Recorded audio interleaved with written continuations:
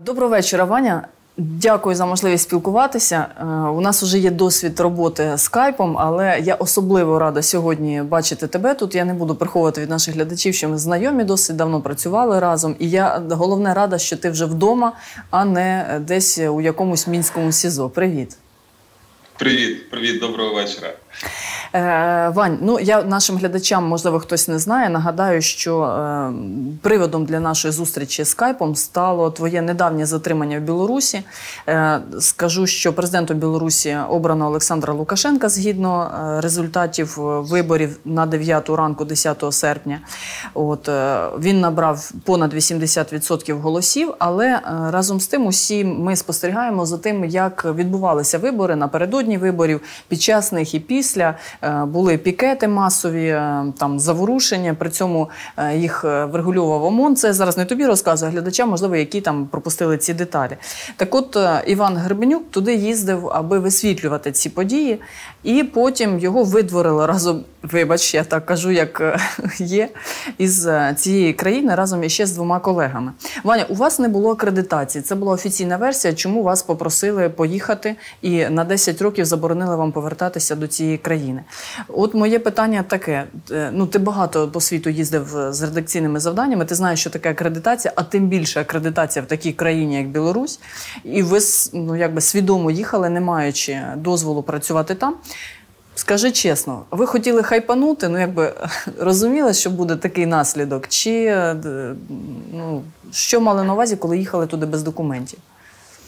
Настю, ми хотіли говорити правду. Ми хотіли е, показати ту дійсність, яка відбувається в цій країні. Ми сьогодні всі бачимо, що в Білорусі не працює майже інтернет, не працює зв'язок, не просто так, тому що зараз там, от навіть в ці хвилини, відбуваються події.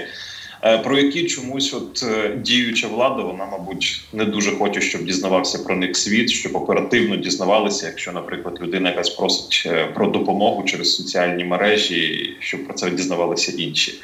Ми їхали туди, маючи підтвердження від міністерства закордонних справ про те, що ми вони отримали наші документи для акредитації, і ми їх надсилали ці документи ще за два місяці до нашого відрядження. Хоча там законом здається сроки встановлені до 10 днів, вони мають е, приймати і ухвалювати це рішення. Звісно, ось те, що у нас не було акредитації, те, що Міністерство закордонних справ Білорусі воно. Е, не дуже швидко реагувало на наші запити, взагалі не відреагувало. Зрештою, е, це все не просто так. Це пов'язано якраз з нашою діяльністю, і це пов'язано навіть в заяві керівництва Радіо Свобода, Радіо Вільна Європа йдеться мова про те, що це просто ніщо інше, як цензура. Ось і все. Як як на вас ніякого хайпу? Як на вас реагували ваші ваші колеги-журналісти з інших країн? Як е, спілкувалися з вами? Які отримали акредитацію? Чому комусь її дали, а комусь ні? Як вважаєш? Насправді дуже багато журналістів закордонних їх там просто немає, і вони просто мусять, навіть кому вдається туди потрапити до Білорусі і не отримувати цю акредитацію. Вони просто мусять працювати в таких умовах.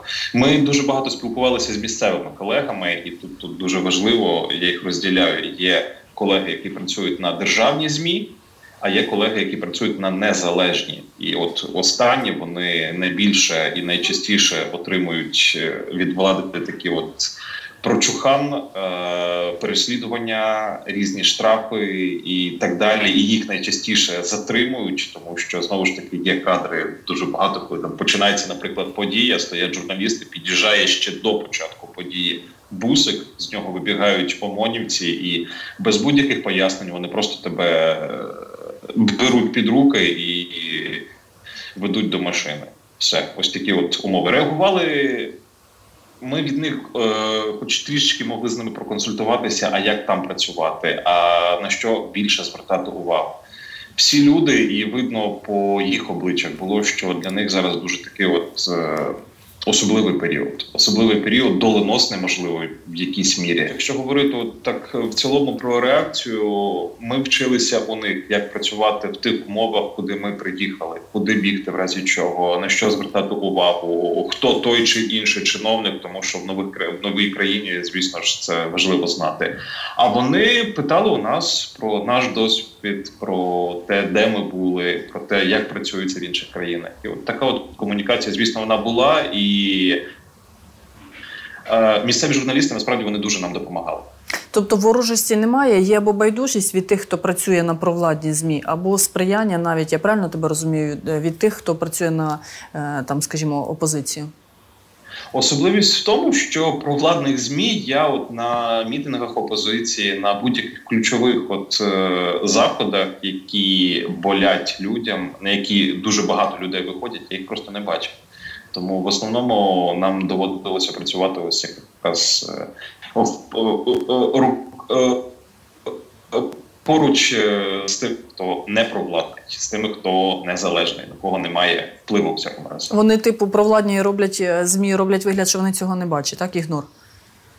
Так, так, це звісно, це ну, подібна картинка, так як е, російське державне телебачення, коли е, просто не звертається увага на якісь важливі теми. Ну тому що це не вигідно влади. Що стосується самих громадян, ти працював і на Євромайдані, і я думаю, що Майдан 2004-го ти теж пам'ятаєш, можливо, ще не в якості журналіста, але ну якби були студентами і е, теж цікавилися життям в країні. Е, настрої приблизно такі ж самі. Мене от дуже часто, до речі, от е, задають це питання: да, от, е, чи можна порівняти От навіть з подіями у Києві, те, що зараз відбувається в мінську, я я не хотів би порівнювати навіть і по настроям, тому що це у людей якась от своя історія, свої емоції і настрої, звісно, да, щось змінити. Це, звісно ж, так, змінити владу, чесний вибір, краще майбутнє, краще життя і так далі. Але от по поведінці, по ставленню до того, що відбувається. Мені білоруси, вони більше якось, от знаєш, такий якийсь, можливо, навіть романтично-політичний настрій, тому що вони тільки починають відчувати от якусь свою силу, а, відчуття того, що ти здатен щось змінити. І мені я дуже багато спілкувався там просто з місцевими. І коли ми приїхали, почали вже робити матеріали. До мене там в соціальних мережах почали стукатися люди, які так само да, от виходять на вулиці яким болить, які небайдужі, і ми навіть з кимось там зустрічалися ввечері. Просто цікаво було поспілкуватися, про що вони говорять, і так далі. Жодних слів, да, там що кудись там іти, десь маю на увазі, от е, якісь такі радикальні заходи вживати. Ні, більше на словах про те, що ми змінимо, нам вдасться і так далі. Я питаю, яким чином у них немає ще поки що цієї відповіді, і мені здається, цьому є логічне пояснення, тому що вони ніколи з таким не стикалися. Для мене, наприклад, що зовсім загадка, взагалі, е, як влада, враховуючи, що вона обмежує з усіх боків, взагалі дозволяла ці мітинги. Очевидно, вже не дозволяти зараз... було не можна. Уже воно вийшло з берегів, так би мовити, людський настрій. Іване, а це більше молоді люди, чи е, якої категорії люди це? Більше молодь, більше молодь, переважна більшість молодь. Е, є частина людей, які пам'ятають протести в мінську в Білорусі в 2010 році. Але вони тоді вони, до речі, називалися самими масштабними. Але зараз, порівнюючи з тим, що зараз відбувається у 2020-му, це небо і земля. Тому що якщо в 2010-му там, наприклад, на площі могло зібратися десь 10 тисяч чоловіків чоловік, то зараз, е, от за три дні до виборів за тиждень, вибач, до виборів, коли був мітинг, ось цей славнозвісний Тихановської в парку дружби народів, там зібралося 60 тисяч людей. І це, це вже не стримаєш. Це нове покоління, яке в 2010-му, до речі, було були були ще дітьми, а когось ще взагалі не було. І зараз е, вони, вони хочуть щось змінити. Я тебе хочу спитати, як людина у людини, що відчуваєш, коли тобі е, серед ночі, е, не знаю, там мінський ОМОН стукає у двері готельного номеру? А, слава Богу, це було не серед ночі, це було якраз посеред робочого дня, але це так само відчуття ну, неприємне, тому що ми щойно повернулися зі зйомок. А ти ось весь такий, вже, начебто, все, ти в готельний номер зайшов, відкрив ноутбук, щось пишеш, е, готуєш матеріал до ефіру ти вже весь сконцентрований, і ось у цей цей момент я пам'ятаю найбільше, тому що такий от е, стукіт дуже голосний. Потім, коли відкриваються двері без твого дозволу, тобто самі по собі, у них звідки лясь ключ мій взявся. І ось вісім людей заходить, таких кремезних, хтось у масках, хтось в формі, хтось знімає все це е, неприємно, м'яко кажучи. Як події далі розгорталися? Вас повезли куди в е, відділок поліції, міліції, як у них це називається? Так, е, спочатку було взагалі невідомість, куди вас повезуть, тому що ніхто нічого не пояснював. Е, коли вони ввійшли в готельний номер, я розумію, в принципі, в таких ситуаціях і в таких країнах, як Білорусь, найголовніше не чинити опір. Маю на увазі, що навіть будь-який якийсь нелогічний рух в цій ситуації він може бути розцінений дуже по. Так, сприйнятий як вичинили опір е, міліції, і це вже абсолютно інша стаття. Приміром. Е, і мені сказали, що якась справа порушена, адміністративна справа, е, назвали номер статті, але не розшифрували, яка сама. Е, е, стаття, і вони мені сказали таким наказним тоном зібрати абсолютно всю техніку, яка у мене знаходиться в номері, і взяти її з собою. Всі телефони, всі ноутбуки, всі камери, е, дроти і так далі. Я в принципі розумію, що кудись повезуть. Я їх питаю, мені брати теплі речі, тому що я ж не знаю, де я буду, наприклад, цю цю, цю, цю ніч проводити. Вони сказали, беріть добре. А, Вивели нас через чорний вхід посад... мене вивели через чорний вхід, посадовили до бусику. За цей час я встиг моїм колегам, вони на іншому поверсі жили, кинути повідомлення, що в мене в номері міліція, і них було кілька хвилин, щоб вже передати далі, тому що я розумів, що до них зараз теж теж скоріш за все прийдуть. Ну, ось це в бусику з затемненими вікнами, така от невідомість. Потім до бусика вже все ж таки привели моїх колег. Знаєш, от перед тим як ми потрапили все ж таки у відділок, для мене ще було таке ганебне відчуття, можливо, тому що той готель, в якому ми жили, затримувати нас допомагали співробітники цього готелю. І це державний готель, це готель Мінськ. Я mm-hmm. цього не приховую, і ми, я думаю, що окремо потрібно про це говорити. Охорона, коли ти заходиш в номер, е, взагалі до готелю, комусь дзвіночок, так вони зайшли там і так далі. Так Ось двері відчинили система... навіть. Ти сказав, відчинили двері. Ось, вони ж їх не так. вибивали, не відкривали, їх просто їм відчинили. Да, і ось ти розумієш, наскільки ця система, наскільки цей весь от державний державна машина, вона от працює, ці силовики і так далі. Це це страшно. Це страшно, і тут же ж ти да, можеш порівняти з тим що люди кажуть, ми хочемо свободи і так далі. Ти в такі моменти розумієш, якої свободи вони хочуть, і, і, і, і до чого вони прагнуть, виходячи на вулиці. Е, нас повезли в райвідділок. Е, ми десь потім по дорозі зрозуміли, що це московський райвідділок. Е, нас було троє, і нас посадовили в різні кімнати. Ми завдяки тому, що кинули клич, встигли кинути клич, що нас затримали. Вже в відділку е, у нас е, зустріла колега місцева, і вона побачила, що ми цілі здорові. Вона підтвердила, куди саме нас під е, привезли. Ну і потім передала вже нашому керівництву, і вони вже там потім е, допомагали нас визволяти так мовити. Всередині Але ти був не на зв'язку. У вас забрали засоби зв'язку.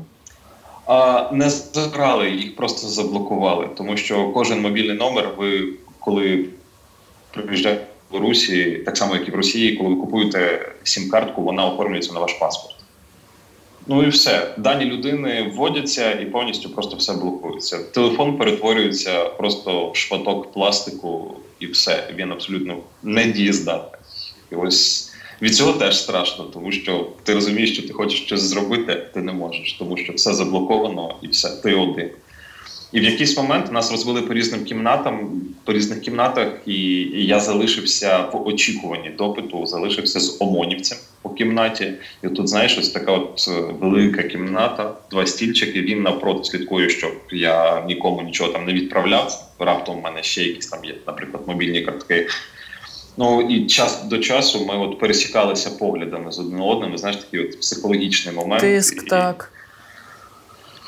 Е, і мовчанка, тому що найбільше відчуття в той момент це а що буде далі, там і так далі. Але сказати чесно, що було там прям взагалі якийсь страх, там прям шалений страх. Я би не сказав, що це було. Можливо, це якийсь досвід вже. чи ну тобто ти звик до якихось стресових ситуацій, і це допомагало насправді трішечки опанувати себе, взяти себе в руки е, без істерик, е, без зайвих емоцій, і, наприклад, відповідати чітко, як коли почався допит. А про що питали? Чітко. Про що вас питали? Коли почався допит, то найперше, що він завжди, от знаєш, між питаннями він кидав фрази: Ми вас не будемо катувати, ми вас не будемо. Ну тобто, знаєш, такі от натяки, типу, я добрий поліцейський. Типу, взагалі то могли би, але не будемо. Так, так, спасибі. Вони почали казати, що ми порушили закон, що ми тут знаходимося незаконно, ведемо і фільмуємо діяльність, і тут почали оперувати тим кадрами, тому що за день цього у нас був спеціальний ефір, якраз так само з мітингу опозиції, і вони почали прям детально розповідати, де на якій точці я працював, куди я саме ходив е, і так далі. Вони чи переглядали наш ефір, чи по якимось камерам е, спостереження, чи можливо за нами був, як то кажуть, хвост, і вони це все дивилися. Я не знаю, але в всякому разі вони знали про нас все. І це ще один такий от факт, який е, відображає дійсність зараз. Вань, ти знаєш, навіщо я попросила тебе з нами зустрітися через скайп? Тому що от зараз я слухаю все, що ти розказуєш. Ну, ми так е, ніби з цього жартуємо. Е, так ми рятуємося, я думаю, в кризових ситуаціях. І насправді я дуже хвилювалася, коли дізналася, що з тобою це відбувається. Стала думати, чи може бути корисна. З'ясувала, що ти не на зв'язку, і це додало ще більшого стресу, але слава Богу, все обійшлося як обійшлось. Те, що ти розказуєш, е, слава Богу, зараз складно уявити в Україні. Е, але мені здається, про це треба розказувати, аби е, наші журналісти, наші співгромадяни розуміли, як не можна допустити, щоб стало. Тобто, коли ми бачимо, спостерігаємо якісь там бажання чи чи хоча б там далекі наміри утискати змі, незалежно від того, на якому рівні, то треба завжди пам'ятати, що це може перетворитися от в таку історію, про яку ми зараз говоримо з тобою. Закритий світ, сучасний 21 е, століття але його закривають, забирають гаджети або роблять їх просто куском пластику, так не дають можливості ем, зовнішнім, е, скажімо, там експертам працювати всередині країни. Ну насправді це дуже страшно. Я би дуже хотіла, аби ем, ну, наші колеги в Білорусі могли працювати вільно. Я рада, що ти повернувся додому і е, бережи себе в наступних подорожах. До речі, на 10 років заборонили в'їзд. Це якось позначиться на інших твоїх відрядженнях. Е, тобто, це завадить тобі працювати за межами е, чи в інших країнах. Я думаю, що тут причина та, що я виконував свою журналістську, е, займався журналістською діяльністю, і через через те, що я там фільмував якісь речі, я думаю, це абсолютно ніяк не завадить е, мені подорожувати і виконувати роботу в інших країнах.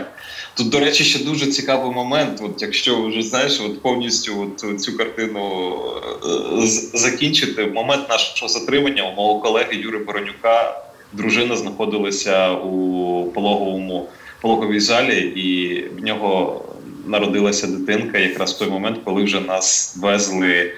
Е, до аеропорту вже після відділку, і ми тоді йому сказали, тому що ми знали, але не хотіли, щоб він дуже сильно хвилювався. Ми вже коли все було добре, ми йому сказали Юр, ти батько. І в нього були сльози на очах. І ну, омонівці, які нас супроводжували, ми в них спитали, можна ми хоч обнімемось? Вони кажуть, можна. І ми я потис руку, Іра обняла по-материнськи, так сказати, і це був крутий момент, і це було круте завершення цієї ось такої от історії. Дуже життя неоднозначна річ, і те, що ти зараз сказав, ще більше це підтверджує. Десь радієш, десь е, навпаки. Добре, що все добре. Е, Вань, а до речі, ще одне питання з цього приводу, і крокуємо до інших тем. Як зреагувало посольство України? Тому що я розумію, що допомагала найбільше ваша редакція, редакція «Настоящего времени». А от як е, працювали державні органи України за межами держави? Ми насправді знаходячись у відділку, ми не знали так, чи займається зараз нами хтось, е, як активно займається, яка реакція. Але коли ми увімкнули мобільні телефони, да, вже коли на зв'язок повернувся, це було щось неймовірне. Це були сотні. І, і звісно, ну, з тих про які ти навіть не очікував.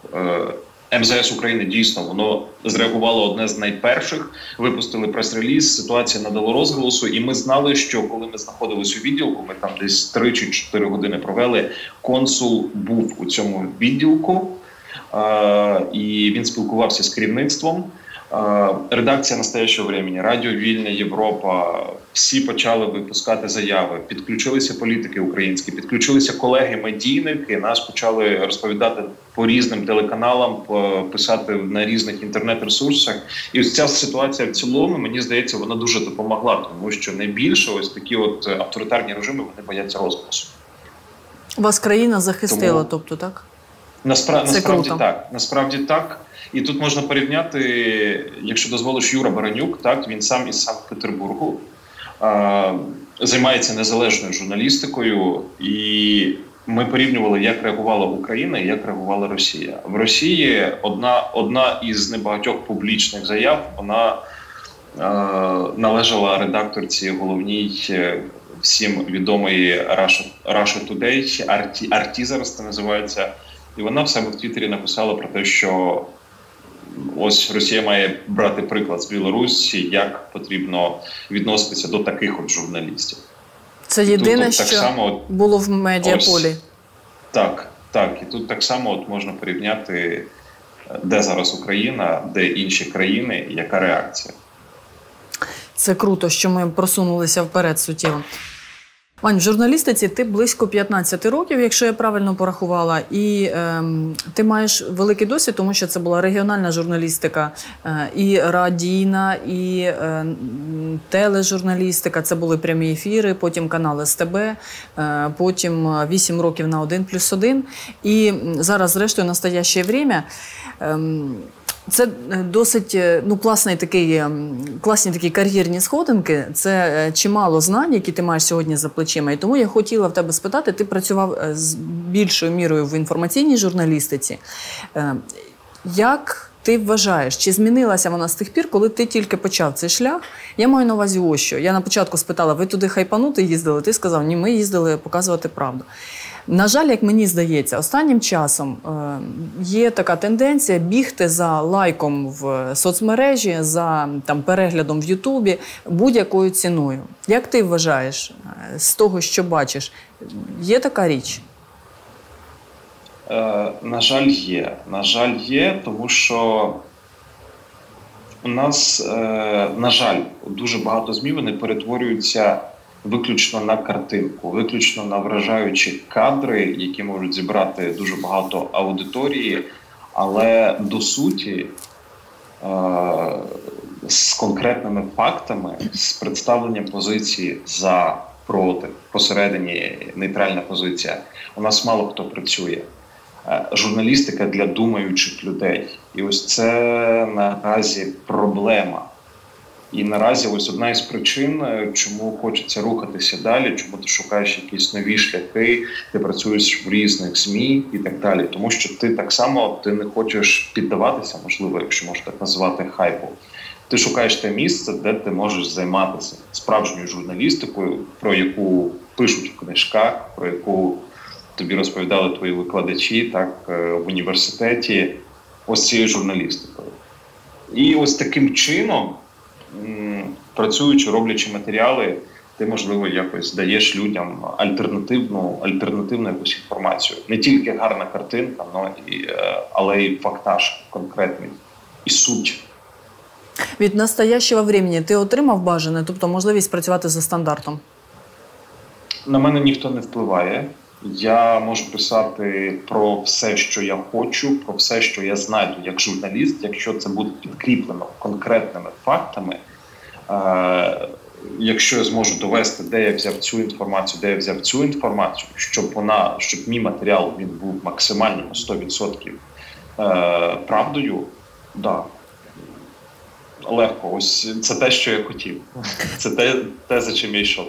Вань, ви вивчаєте свою аудиторію. Тобто, я ось ще хочу сказати, часто е, редакція йде на запит не тільки свого інвестора, бо від нього вона теж часом залежить, але і на запит суспільства, скажімо так. Якщо ми бачимо тенденцію до перегляду там матеріалів, де є там елементи ну, якогось насильства або, скажімо, там якоїсь драми, трагедії, тобто те, що зачіпає емоційно, то таких матеріалів дають все більше і більше в новинах. Як на мене, вони перестають бути новинами. Це якийсь там тележурнал е, перетворюється. Да? От, ем, Так от, хто аудиторія настоящего времени? А, якщо коротко, аудиторія настоящого времени, времени це люди, які прагнуть свободи люди, які прагнуть е, демократії, які шукають демократії, які хочуть жити в вільних країнах. Е, настояще время так це частина великої медіакорпорації Радіо Вільна Європа, е, Радіо Свобода. Е, і воно свого часу було створене якраз для тих країн, в яких свобода слова, свобода думки вона переслідується. Ось ми виконуємо цю функцію, даючи людям альтернативну інформацію, правдиву інформацію, не таку, яку вони можуть побачити по телевізору. Ось це і є наша аудиторія. І судячи по переглядах, так у соціальних мережах, в деяких країнах ми є і на телебаченні, які набирають мільйони переглядів. Ця от ця інформація, цей продукт він дуже затребуваний і на нього чекають. Працюючи на 1 плюс 1, ти багато разів їздив е, в зону бойових дій. От про стресові ситуації сьогодні говорив. Я думаю, що на твою долю їх випало достатньо. Е, про це трошки пізніше більше. Але зараз, як мені здається, ну зрозуміло, мене немає там зрізу да, там в цифрах, але мені так здається, що на плюсах стали менше показувати війну. Ем, як вважаєш, чому так? І чи здається мені? Спостерігаєш взагалі за тим, що зараз колеги показують? Е, не завжди вдається. Звісно, ти маєш бути завжди в тонусі і спостерігати за новинами в Україні. В моєму випадку ще е, ще плюс 10 країн додалося. Ти завжди маєш крутитися в інформаційному просторі. Вони наскільки розумієш, один плюс один, як і більшість телеканалів, це комерційна аудиторія, і вони живуть за рахунок не тільки інвесторів, тому що інвесторів е, ну там різні причини, але найголовніше вони живуть за рахунок ще й реклами. А, І звісно, вони мають показувати продукт, продукт, хайпувати, так би мовити, на тих темах, яка може е, привернути увагу більшої, найбільшої частини аудиторії. Більше аудиторії, більше реклами, більше дохід. Тема війни, як це не дивно звучить, вона дійсно йде на задній план, тому що це вже шостий рік, нічого не просувається, і у людей, коли вони вмикають матеріал, може навіть знаєш таке бути відчуття дежавю. Я вже це дивився. Ті самі фрази, ті самі локації, те саме відео і так далі. Тут мені здається, проблема в тому, що стали менше показувати, тому що перестали можливо шукати якісь нові підходи дивитися з різних боків на цю ситуацію, записувати більше якихось історій і так далі. Можливо, в цьому проблема ще знаєш. Я вважаю, все таки, що е, навіть в гонитві за хайпом не можна забувати про те, що болить е, Україні, українцям. От е, що стосується того, як знімати війну як взагалі про неї розповідати. Ми коли з цим зіштовхнулися, було дуже складно. Ми не знали, як з цим працювати. Потім були якісь тренінги, де нас е, пояснювали нам, е, там що можна показувати, що не можна, якісь такі нюанси, ну там технічні, можливо. Але все-таки я думаю, що про війну треба говорити, аби ми тут не забували на мирній території, не забували, що там сьогодні хлопці є, що вони е, воюють, що вони віддають життя і здоров'я за те, аби ми тут могли спокійно, наприклад, з тобою зараз поговорити. Це така моя думка. Але про твій досвід, от е, коли їздили знімати війну, як на вас реагували військові? Чи вони самі вважають, що треба показувати це? Ідуть на контакт, дають коментар чи навпаки? Е, Так. Е, коли ти починаєш знайомитися, коли ти приїжджаєш на якусь нову позицію, і ти з цими військовими бачишся перший раз, спочатку йде недовіра, тому що дійсно от чомусь ці всі тренінги організовуються перший час ось бойових дій, так на Донбасі. дуже багато позицій українських військових, українські журналісти просто через своє власне незнання, так як працювати. Ми всі вчилися, як працювати в цих умовах. Вони просто показувалися, і ворог їх міг і тоді ж те місце прилітало неприємне з тієї сторони. Тому тобто... от військові, вони, коли ти з ними знайомишся, вони дуже з недовірою ставляться до тебе. Але коли в процесі роботи ти доводиш, що ти вмієш правильно працювати, ти не спалиш, вибачте мене журналістською мовою їх позиції, вони будуть після твого матеріалу в безпеці продовжувати виконувати свою роботу. Ось так, от ця комунікація і працює. І Тут тут довіра, як то кажуть, журналіст е, довіру військового заробляє на справі свої. Що залишилося в тобі е, не в кадрі, а в тобі після такого досвіду роботи на війні? У мене залишилося трішечки відчуття суто журналістське, що я не зміг за цей час записати, поговорити як слід побачити, можливо, зсередини іншу сторону. Насправді це суто журналістське, тому що. Є громадянське, так проти моєї країни ведеться військова агресія. А є журналістське, коли ти маєш бути є, можливо, це дуже непопулярна річ зараз буде сказана. Коли ти маєш бути неупередженим, і коли ти маєш розбиратися і представляти усі точки зору, це є золоте правило журналістики. І ось ось цього мені не вистачило, можливо, в деякій мірі. Ну і я по суті я розумію, що я як журналіст український, якби я поїхав на територію псевдореспублік, наприклад, з'ясувати, як вони, що вони, що вони кажуть. Я б можливо звідтіля не повернувся, тому що дуже багато було затримань, полонів і так далі, моїх колег в тому числі. Але ось цього можливо мені не вистачило. Є така думка, і вона досить популярна, що з ворогом не можна розмовляти. Багато наших колег-журналістів брали інтерв'ю е, з представниками е, наших опонентів, і ем, потім вони переслідувалися нашими ж колегами, тому що не можна розмовляти з ворогом. Я думаю, що тут дуже важливо, як розмовляєш ти з ворогом. Так ну по різному ж можна розмовляти. Але мені здається, що все-таки почути ворога, ворога треба знати. А щоб знати, знаєш, заговори, щоб я тебе побачив. То тут десь я з тобою згодна, що от е, хотілося б глибше дізнатися, що на умі тих людей. Чим відрізняється регіональна журналістика, от як е, там в Кропивницькому на Кіровоградщині, від, скажімо, журналістики на центральних каналах? Чи не заважає? У нас просто колись була дискусія з моїм колегою, з нашим колегою з Андрієм Богдановичем, що в регіоні бути вільним журналістом складніше ніж, наприклад, е, в Києві. Як ти вважаєш? О...